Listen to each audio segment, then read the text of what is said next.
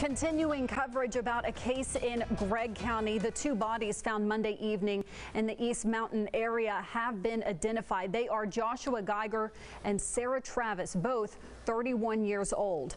They were found on Coulter Road off FM 1844. Investigators say they do not know exactly where they're from and their cause of death is still under investigation.